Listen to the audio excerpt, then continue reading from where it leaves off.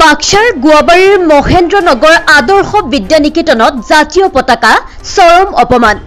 তীব্ৰ প্ৰতিক্ৰিয়া অঞ্চলজুৰি চকু মুদাকুলিৰ ভাও বিদ্যালয়ৰ শিক্ষকৰ। দেশৰ প্ৰাক্তন ৰাষ্ট্ৰপতি প্ৰণৱ মুখাৰ্জীক শ্ৰদ্ধাঞ্জলি জনোৱাৰ উদ্দেশ্যে দেশৰ বিভিন্ন চৰকাৰী অনুষ্ঠান প্ৰতিষ্ঠানত ৰাষ্ট্ৰীয় পতাকাখনক অৰ্ধনমিত কৰা হৈছিল যদিও বাক্সা জিলাৰ ভাৰত ভূটান সীমান্তৰ গোৱাবাৰীৰ মহেন্দ্ৰনগৰ আদৰ্শ বিদ্যানিকেতনত ৰাষ্ট্ৰীয় পতাকাক চৰম অপমান কৰাৰ অভিযোগ উত্থাপন হৈছে। সংবাদ মাধ্যমৰ লোক উপস্থিত হোৱা স্বত্তেও ৰাষ্ট্ৰীয় পতাকা সম্পূৰ্ণ উৰি থাকিল বিদ্যালয়ত। উল্লেখ্য যে ৰাতিপুৱা বিদ্যালয়খনত এগৰাকী শিক্ষক উপস্থিত আছিল যদিও দিনৰ বাৰ বজালৈ পতাকাখন উৰি থাকিল।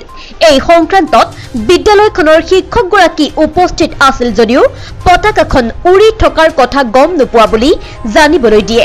আনহাতে শিক্ষকগৰাকীয়ে পতাকাখন উৰি থকা সংক্ৰান্তত কোনোবা দুষ্ট চক্ৰ জড়িত থকাৰ কথা অভিযোগ উত্থাপন কৰে। ৰাষ্ট্ৰীয় পতাকাখন এনেদৰে অপমান কৰা কাৰ্যক স্থানীয় লোকসকলৰ মাজত তীব্ৰ প্ৰতিক্ৰিয়াৰ সৃষ্টি হয়।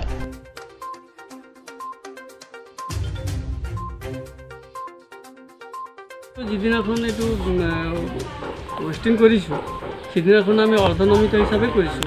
দেখাবিলাকো দেখা পাব্লিকো আছে। তেখেতসকলেও দেখিছে। কিন্তু এতিয়া যে এনেকুৱা কণ্ডিশ্যনত আছে তো এইটো নিশ্চয় কোনোবাই এইটো এনেকুৱাকৈ কৰি দিছে।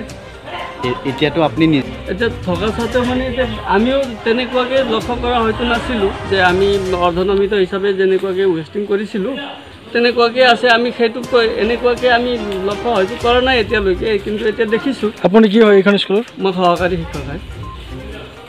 ওপৰত একবাৰো চোৱা নাছিলে। চোৱাই নাছিলোঁ আমি।